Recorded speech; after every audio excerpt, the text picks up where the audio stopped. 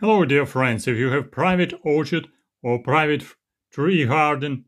so different interesting beneficial insects can inhabit your fruit orchard and can struggle against pests of agriculture and your fruit orchard, such as family Braconidae, this subfamily Aphididae parasitoids of different sucking insects, aphids, family Chalcididae, parasitoids of pupae and caterpillars, family Eurytomidae,